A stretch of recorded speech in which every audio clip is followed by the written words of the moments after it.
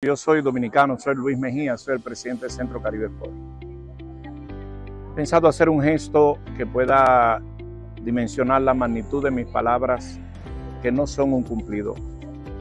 Ahí se dice quitarse el sombrero. Me quito el sombrero ante la obra que he visto en dos meses. Estuve aquí 21-23 de enero y no había absolutamente nada, movimiento de tierras.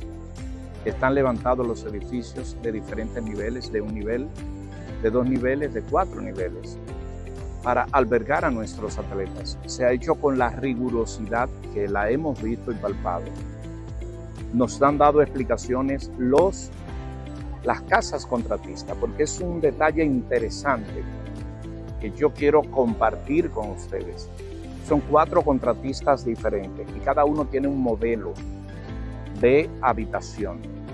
Modelo en el sentido de un piso, dos pisos, cuatro niveles. Y a los cuatro fuimos y las explicaciones nos las dieron los contratistas que están supervisados por el MAP, que es el Ministerio de Obras Públicas. Y la verdad es que comparando, tuve el privilegio de estar en enero, lo de ahora es realmente, me quito el sombrero. Nos quedan dos meses, suficiente para la terminación final instalación sanitaria. Acabo de ver la parte de los generadores eléctricos, los transformadores, muy importante, porque eso hay que mandarlo a hacer con la capacidad. Y por igual eh, está aquí todo un movimiento que se trabaja tres turnos, es decir, 24 horas a donde es necesario. Viene un tema de embellecimiento, viene un tema de la parte humana para que el atleta tenga calor, tenga diversión. En definitiva, vamos a tener una villa, como la ameritan nuestros atletas. Aquí hay un gran ganador que es la Universidad del Salvador. Yo quiero felicitar al gobierno y a la propia universidad que aceptó la propuesta del gobierno, porque estamos haciendo un aporte para el futuro de la educación en El Salvador.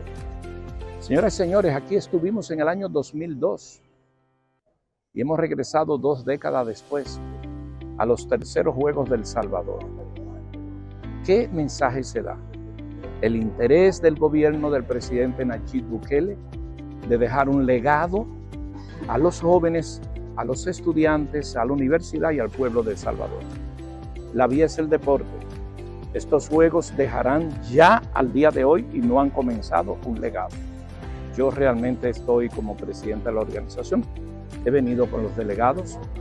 Ya hemos programado para que ustedes vean el nivel de confianza Vamos a hacer algo que nunca se ha hecho. Vamos a venir a recibir el banderazo de salida de todos estos trabajos y le vamos a dar un tour virtual a todos los atletas que vienen, abierto a todo el mundo.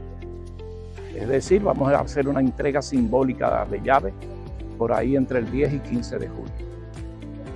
Y ellos han aceptado ese pedido nuestro. Significa la garantía de que van a terminar no solo a terminar, sino a mueblar, a condicionar. Entonces nos vamos de este recorrido con los delegados sumamente satisfechos.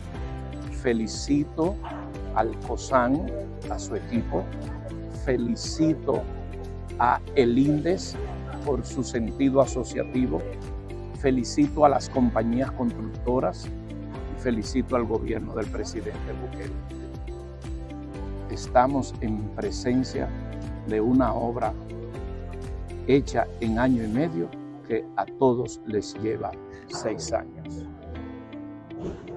Nos vemos en junio. Me voy a parar aquí mismo. ¿Por qué seleccioné las palabras de cierre acá? Porque en esta área que estamos viendo aquí, ustedes ven un campo de fútbol, fútbol césped, ¿verdad? Y fútbol arena, en estas canchas que va el comedor. Y terminé aquí este recorrido, estas palabras, porque el 13 de junio ustedes me verán ahí adentro, almorzando en el tour virtual. Le voy a dar un poco de envidia a los que están en su casa. Miren qué grado de confianza tengo en El Salvador 2023. Gracias, salvadoreño. Nos vemos el mes que viene.